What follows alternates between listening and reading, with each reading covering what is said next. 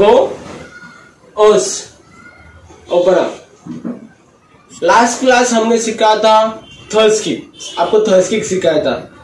Okay सबसे पहले ten count thrust kick करेंगे okay straight right leg back thrust kick start one kick down two kick down three kick down four kick down okay आपको last class ये kick सिखाया था थर्स अभी आपको इसका थर्स का नेक्स्ट टेक्निक क्या है?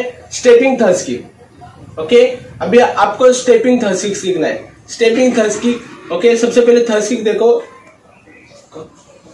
थर्स आपने जो ये किक किया था थर्स वो अगर कोई पार्टनर इतना नज़दीक है तो उसको आप लोग ये यूज़ करते हो। स्टमक में, नहीं तो फेस पे ओके पर कोई पार्टनर आपका, जो भी आप चैंपियनशिप को जाएँगे, कहाँ पर भी और कोई इतना दूर है ओके?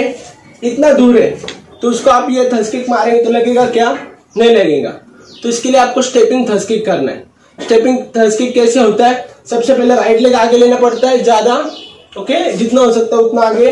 इसे पीछे पैर उसे ज्वाइन करना है और सेम वही पैर से थर्सकिक इतना डिस्टेंस कवर करने के लिए। वापस ध्यान दो। राइट लेफ़्ट एंड राइट इसे कहते हैं स्टेपिंग थर्स की एक किक थोड़ा सा फास्ट में होना चाहिए। वापस ध्यान दो, मैं स्लोली बता रहा हूँ। Right left and right okay इसे कहते हैं स्टेपिंग थर्स यस जितना होगा उतना फास्ट करना है ये kick okay sir one one two join and kick फिर से पीछे आने पोजीशन जगह पे। Two right left and right okay ध्यान दो, जो पैर पहले आगे रखेंगे, उसी पैर से किक होनी चाहिए। Three one two and kick four one two kick five step one two kick six one two kick seven one two kick eight right left and right से किक अभी चेन लेग अभी दूसरे पैर से. अभी left leg से करेंगे तो सेम ही मूवमेंट करना है आपको.